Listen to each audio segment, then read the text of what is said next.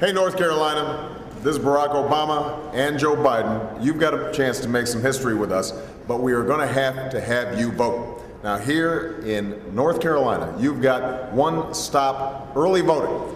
You can go and register and vote at the same time. Can't be easier, but you've got to make the effort.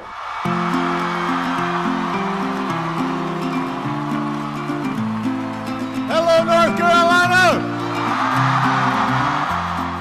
I lived in North Carolina my entire life. When I realized that when it came to electing presidents, we were technically a red state.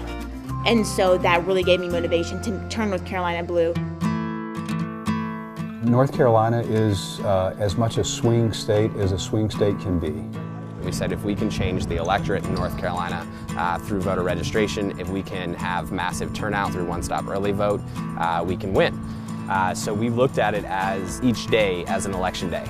So excited about it. Um, that was the first time I had ever voted. We're not just fighting for policies. We're fighting about who we are and what we believe in and who we fight for. Everything he was talking about, I worked in a factory. In 2001, they sent our jobs to Mexico. I mean, we needed a change, and I just wanted to try to, you know, help out. I can't do this by myself. I need you, Charlotte. I need you, North Carolina. I need you to knock on some doors. I need you to make some phone calls. I need you to talk to your neighbors. On election day in 2008, there was a great sense that we were living history, that our country after this day would never be the same. Well, for one thing, I rode back over here just looking around. Did y'all vote? Did y'all vote? When the polls closed and numbers started to come in, it became very obvious that it was going to be close. Four,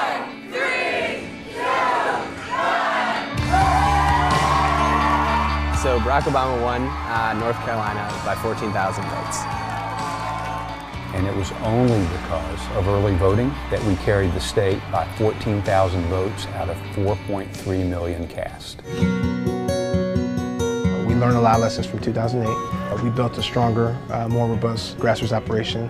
Uh, our grassroots volunteers who are out there every day, knocking on doors, making phone calls. This state really comes down to one-stop early vote, but it is going to be razor thin.